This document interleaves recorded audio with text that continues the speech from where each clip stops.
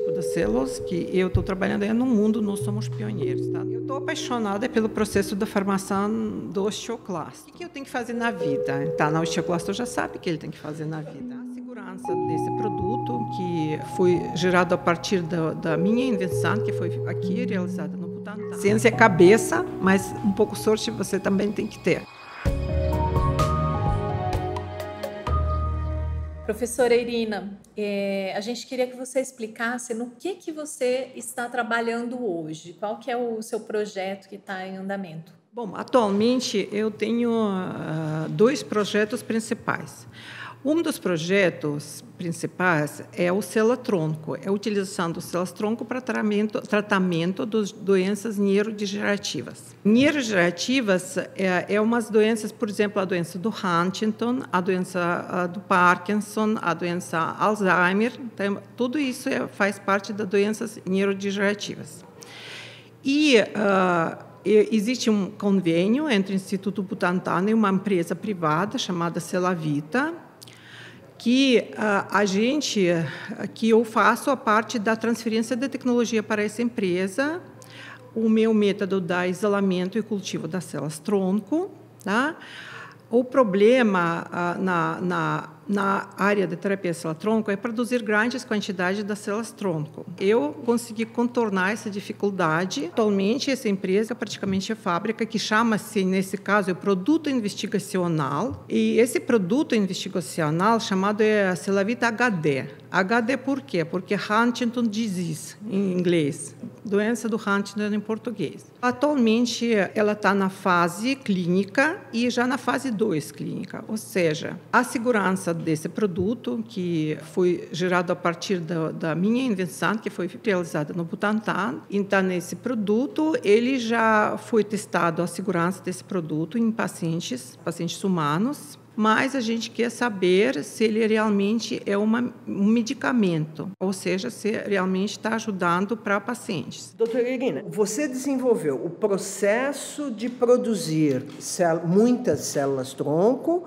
ou você desenvolveu essa molécula específica para o Huntington disease? Não, eu desenvolvi um processo do isolamento das células-tronco a partir do dente de leite das crianças. Eu não posso também entrar muito em detalhes, mas porque isso é tudo é patenteado pelo Instituto, mas a maneira como eu estou produzindo essas células, elas também levam à expressão alta de um fator que é necessário para essas doenças. Fiz duas coisas. Eu consigo, a partir um mesmo doador, obter uma grande quantidade das células, que diminui a variabilidade genética do produto quando se trata do tratamento dos pacientes. Então, se você tem quantidade de células suficiente para tratar seis pacientes e do mesmo mesmo doador, então você vai diminuir a variabilização genética que vem do doador. É o único doador e não é muitos doadores, porque a célula tronco, ela, a parte genética da, da pessoa reflete na qualidade da célula tronco. Se tirar de você, vai ser um tipo da célula tronco. Se você de, de outra pessoa,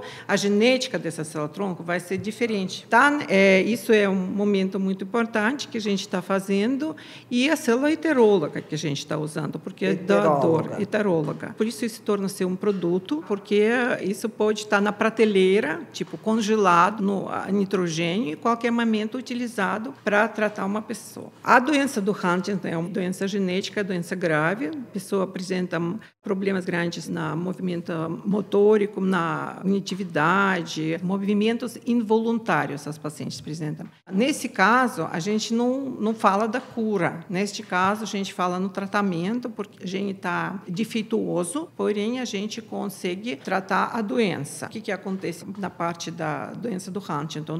Devido que a gente é defeituoso, ele produz muita proteína chamada huntingtina. E essa proteína, ela se acumula nas células neuronais e devido isso, como ela se acumula, em um momento a célula se explode, então ela mata neurônio. Essa doença ela mata quantidade grande de neurônios uh, na nossa cabeça, na cabeça dos pacientes que estão sofrendo dessa doença. Por exemplo, esse fator que a gente vê que expressa altamente nessas células, esse fator importante para essa doença. Todos os pacientes que têm essa doença, eles têm baixo nível desse fator em relação às pessoas normais. Essa doença faz diminuir esse fator. Então, quando nós estamos colocando célula, nós estamos aumentando a quantidade desse fator no organismo da pessoa. Aliás, esse fator é muito importante, isso as pessoas têm que saber, porque é fator neurotrófico do cérebro. É bom saber, porque mesmo que as pessoas, quando envelhecendo, esse fator uh, tende a se diminuir. E uh, uma das coisas que pode nos ajudar é fazer exercício físico, se treinar muito para você manter alto. Esse, esse fator começa, a expressão dele aumentar se você vai se exercitando. Por isso a gente fala que não só fisicamente que a gente se exerce, para se exercer fisicamente, a gente também se exercitando as suas células, porque elas começam a produzir mais fatores que nós estamos precisando para não ter essas doenças que acompanham geralmente a velhice das pessoas. Então, é, é isso que a gente está fazendo. Isso é um projeto e atualmente a gente está visando o começo dos novos estudos clínicos. Agora vai entrar o Parkinson, o estudo do Parkinson, já nos seres humanos, como já foi comprovado a segurança das células, então nós podemos fazer umas outras doenças, para estudar as outras doenças. Nosso instituto, junto com essa empresa, a gente é pioneiro, não só no Brasil, mas eu acho como esse tipo de células, não, não é acho, eu sei que esse tipo de células que eu estou trabalhando é no mundo, nós somos pioneiros. Tá? A gente está fazendo uma coisa, eu acho, na minha opinião, o Instituto, porque eu sou do Instituto, eu não posso me separar do Instituto, então no Instituto está fazendo coisa muito bacana. Outro trabalho que eu estou fazendo, e a doutora Ana Marisa coordena esse projeto, esse projeto visa procurar vários novos alvos moleculares, ou seja, alvos no nosso organismo, proteínas no nosso organismo, que pode nos ajudar para tratar uma artrite, artrose ou várias doenças, outras doenças inflamatórias. E Neste caso, os venenos eles estão utilizados como uma ferramenta. Por exemplo, doenças articulares. Lá tem o quê? Lá tem condroso, tocinho noviosto, lá tem o osso. Então, tem vários tipos celulares envolvidos para a formação na articulação, numa articulação. Numa articulação. Então, nós temos modelo in vitro, por exemplo, sinoviosto, condrosto, osteoclastos, e nós estamos testando igualmente todos os venenos nos modelos diferentes. E lógico que isso vai levar, como os modelos diferentes, cada um age do seu jeito. Isso provavelmente nos vai levar para diferentes alvos diferentes proteínas no nosso organismo que podem ser de alguma forma influenciados por medicamento que nós vamos gerar ou GSK vai gerar por medicamento ou do próprio toxina do veneno que faz esse efeito. Não, mas espera aí, mas você falou que na articulação tem que coisas? Várias, várias, várias coisas. Várias, vários, tipos, tipos celulares. Isso, são enviostos, condrostos e osso, por exemplo.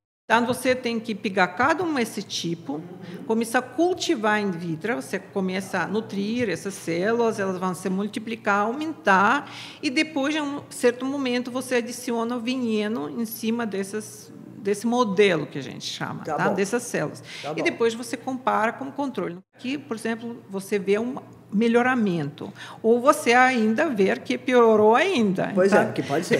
pode é, ser peraí, duas então, coisas. aí, quando você diz o veneno, são proteínas do veneno, é proteínas, o veneno inteiro? Não, no início é proteína inteiro, que depois vai ser fracionado para achar a exata molécula que está produzindo esse efeito nessa célula. Aí, como a veneno ele é muito complexo, ele é muito composto, a gente tem na frente muito trabalho, porque a gente vai começar a fracionar veneno até nós chegarmos até aquela molécula é que está induzindo, está, por exemplo, interrompendo o processo da diferenciação do osteoclasto. E uh, ela vai interromper, mas a gente vai ter que achar o que, que ela está interrompendo, qual é gene que ela, qual é DNA que está ah, tá o alvo desse, eh, dessa molécula, ou proteína que ela expressa depois, que o gene expressa depois. E, na verdade, a gente vai matar as duas coisas. Por um lado, nós vamos achar um, um alvo que pode ajudar no tratamento da doença, e, por outro lado, nós vamos achar provavelmente uma molécula que veio do veneno para tratar essa doença também, tá? Mas isso é um caminho longo, não é todos os alvos que vai achar serão mesmo alvos. Então, digamos, a pessoa tem osteoartrite e aí A osteoartrite vai fazer inflamar algumas dessas células isso, que você isso falou? Mesmo, isso Ou todas? Todos, todos. Vai ser todos, tá. todos. E aí você, você separa Depende células... do estágio, que tem, tá da doença tem estágio. Uhum. Então, quando é mais grave, mais número das células estão envolvidos. Tá. Aí você separa as células em Cada tipos separa, e põe o veneno... Isso, para estudar o efeito cada, do veneno nesse tipo das células. Em cada um dos tipos. Isso mesmo, em cada um dos tipos. Tá bom. E, e a intenção é justamente achar algum efeito. Tá. Lógico que a gente quer achar um efeito que vai nos ajudar a criar uh, um medicamento tá que Mas... pode agir em cima dessa proteína que está envolvida no processo inflamatório da doença. A gente faz inicialmente a curva da viabilidade celular, que a gente chama isso viabilidade, quer dizer que sobreviveu. Tá? Então a gente escolhe concentrações aquelas concentrações que não são tóxicos para a célula. E somente depois que a gente começa utilizando essas concentrações, começa a ver efeito. Por exemplo, no meu modelo, a gente vê que algumas concentrações de alguns venenos diminuem uma quantidade dos osteoclastos formados. E isso pode ser bom. Na verdade, é muito, muito nebuloso, até para nós, bastante nebuloso, porque a gente ainda não sabe o ah, valor real daquilo que a gente vai pesquisando. E mesmo quando a gente vai chegar no final, a gente também vai ter que ver, porque esse modelo in vitro no laboratório, mas será que todo esse efeito que a gente está observando vai ser mantido em vivo? Mas o que, que o veneno faz? Ele estimula determinadas proteínas? O que Bom, que, ele, é pode, que... ele pode induzir uh, o efeito como inflamatório, tanto como anti-inflamatório. Tudo vai depender. Ele também depende da concentração, do tipo de modelo celular, uh, de vários, vários outros, uh, outros fatores. Mas ele pode induzir as duas coisas. O osteoclasto é uma célula que ela se forma a partir da precursores de sangue periférico. Então a gente tira um pouco de sangue periférico do doador e ela é colocada nas condições específicas e nós estamos uh, colocando lá na nutrição dessas células uns fatores que induzem a formação a partir desses precursores, que são células redondas que não têm nada parecido com osteoclastos, e 15 dias nós estamos seguindo esse processo de diferenciação. No dia 15 você vê uma célula multinuclear, porque uma célula normal geralmente tem um núcleo. E o osteoclasto, ele funde uma célula enorme, uma célula que anda, que ela vai comendo, ela vai comendo, ela tem que andar. Uma célula muito linda. Eu estou apaixonada pelo processo da formação do osteoclasto. E ela tem monte, monte, monte, monte dos núcleos, na verdade. E cada um parece que tem seu programa. Vocês já sabem a função do osteoclasto, a função ele limpa, mas ele pode beneficiar com essa limpeza, o osso ele limpa todas as impurezas, tira, mas por outro lado, às vezes, se o balanço no organismo está destruído, o balanço, ele pode diminuir a formação óssea, tá? Nisso que é perigo ele dele. Limpa e come osso. Cada 10 anos a gente tem uma troca óssea. Troca óssea não é aqui inteiro o esqueleto, porque assim a gente não percebe às vezes, mas tem várias fraturas ao longo da nossa vida, machucados que acontecem que a gente nem percebe. Só que o organismo sabe. Então ele manda para lá a célula que vai lá e trabalhando nisso. Uma célula está tirando, que já está entrando na apoptose, na morte celular programada, células, e ela manda o osteoclasto para tirar essas células, e ela manda o osteoblasto, outra célula,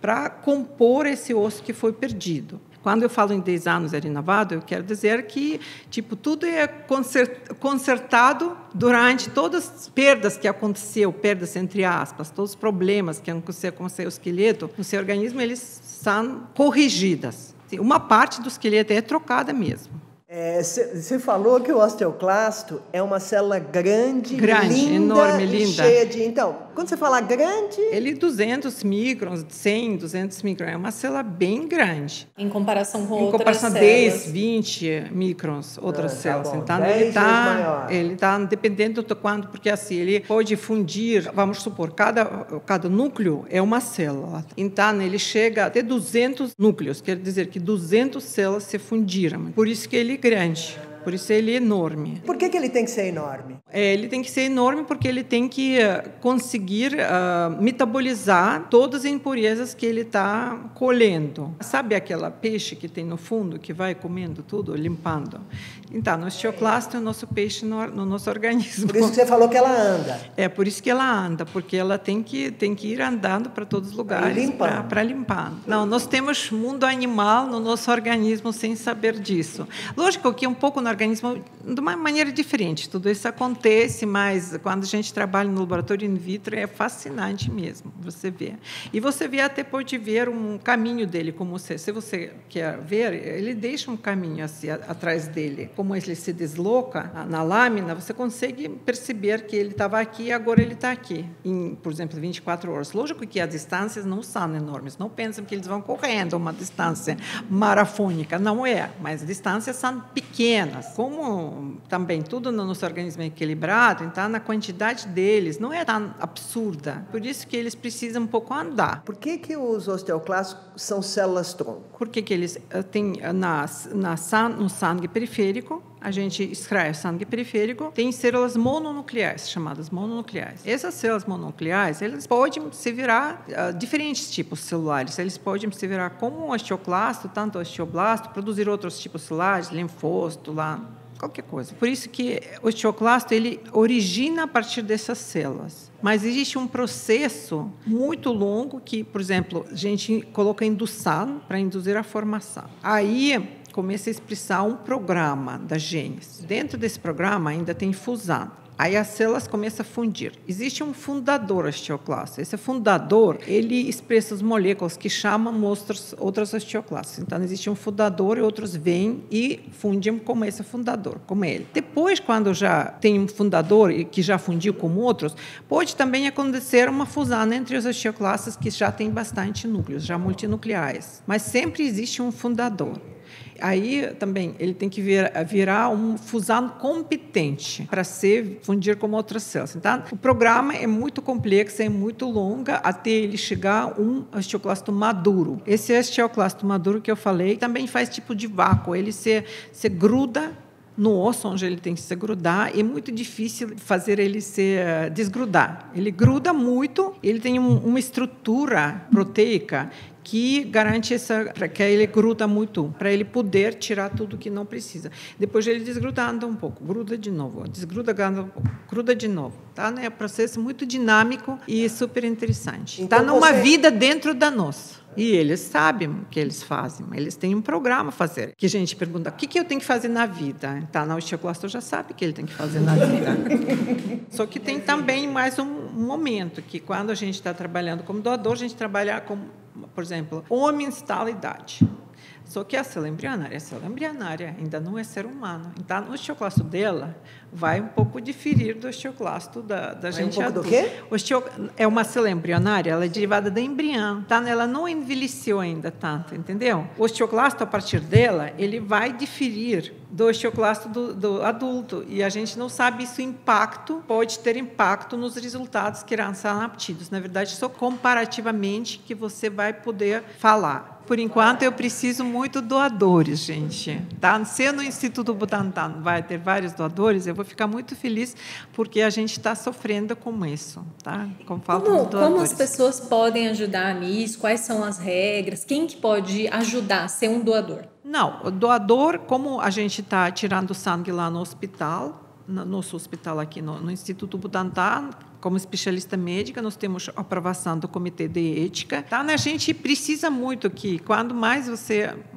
faz experimentos, mais você precisa sangue. Isso é o nosso problema, é o nosso bottleneck. O nosso gargalo. É. Teve gargalo. um momento que você estava falando dessa questão de investir tempo, né? Quantas pessoas mais ou menos são envolvidas nesse projeto e há quanto tempo vocês estão trabalhando nisso? Não, a gente começou a trabalhar como começou o projeto do DGCK, ou seja, quatro anos atrás.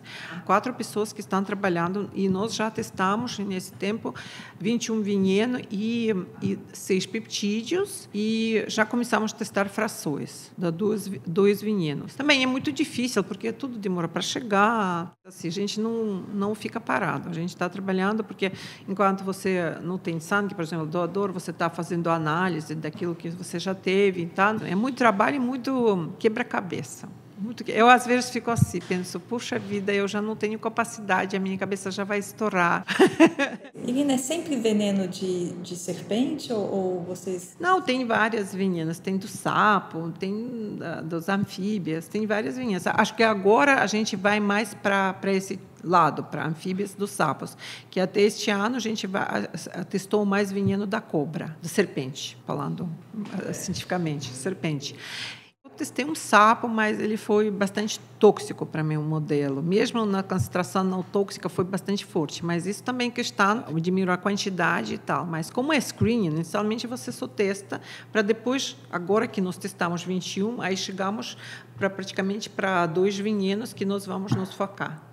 Se esses ensaios tiverem sucesso e isso pode gerar um produto para o mercado, pode. Tal, por que, que isso é inovação? O que, que a gente, o que, que vai ter de diferente do que a gente tem hoje para esses pacientes que têm essas doenças? Bom, isso vai ser novos, novos alvos, ou seja, novos genes que vão ser que vão ser influenciados no organismo da paciente, que pode ter resposta que ia beneficiar. A novidade, qual é a inovação que a gente usa o veneno, que há muitos anos é conhecido que os venenos da cobra têm vários componentes, que têm um valor enorme terapêutico.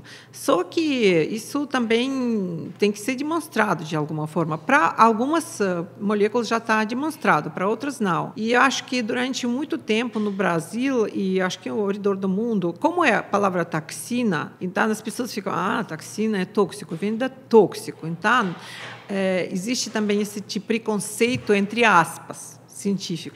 Mas, como existem os uh, métodos modernos para você modificar uma molécula, mesmo que ela seja toxina, e também existem toxinas que são tóxicas para uma coisa e não são tóxicas para outra. Então, tudo é questão como você vai trabalhar com essa molécula, como é que você vai modificar, o que você quer obter ela. Isso já é um outro nível de trabalho. Eu acho que as moléculas naturais são bem interessantes. Só que assim, a indústria farmacêutica não quer saber da natural. Porque natural quer dizer como eu falei para você, é natural. Onde dá uma serpente, ela está habitando num lugar, outra molécula parecida, mas ela é um pouco diferente do, do mesmo serpente, mas ela do outro lugar. Ela vai ter um pouco diferente. Então, eles querem justamente os moléculas purificados já com sequência conhecida, com folding estabelecido. Então, é isso que eles querem. E isso leva uns anos, anos, anos da pesquisa. Porque se for é, recolher na natureza, não. cada vez vai ser um diferente. É, vai ser um diferente. E, e, e, é, tá, não existe isso, que, esse diferencial no veneno. Tá? Então, mas isso também é, é, às vezes você tem que ter sorte também na ciência. Ciência também é sorte.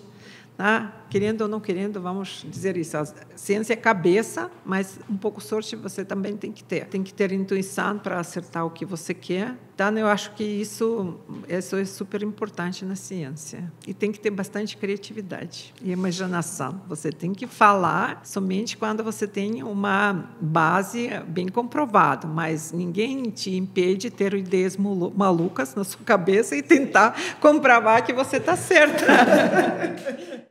Eu acho que, enfim, podia é, contar para a gente como é que você veio para o Brasil. É, Brasil. Ah, é na verdade, assim, eu me formei na Rússia, na, numa cidade chamada Novosibirsk. É um centro da Rússia, bem centro da Rússia. É uma cidade aqui na Sibéria. E essa universidade onde eu trabalhei, instituto, universidade, é uma cidade que eu trabalhei, é 25 instituições científicas que tem. Então, é um centro muito grande dentro da Rússia. Trabalhei como professora lá na universidade e eu tinha lá a minha pesquisa também, parte da minha pesquisa que eu também trabalhei na parte das células. Acontece que o hum, pai do meu marido, ele era um professor da genética, ele é era um grande amigo da Dobzhansky. Dobzhansky trabalhou com genética, trabalhou no Brasil muitos anos, trabalhou na USP aqui, tem, acho que, museu lá dele. E ele era uh, orientador da tese do doutorado do meu sogro. Aí, um dia, para nossa cidade, veio o doutor Cordeiro, professor Cordeiro daqui do Brasil, geneticista do Brasil, que fundou a Cátedra da Genética lá no Rio Grande do Sul, no Rio de Janeiro. E ele veio e falou que eu quero conhecer a família da professor Kerks, que ele também trabalhou com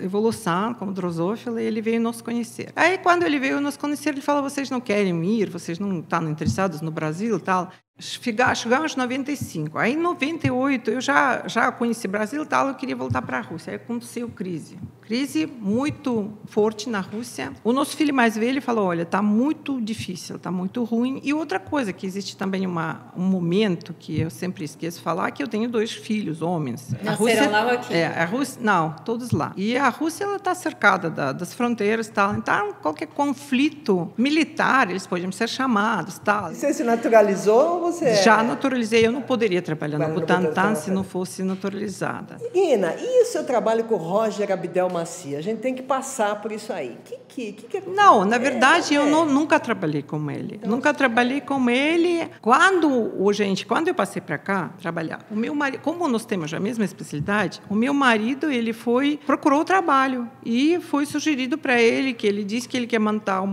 laboratório da pesquisa lá e ele foi trabalhar lá. E aí ele me convidou para assistir vários seminários e um dia ele me sugeriu se eu quero que ele quer financiar uma parte da pesquisa e eu pedi ele declaração que ele vai, que é todo o Instituto Butantan, eu tenho tudo isso.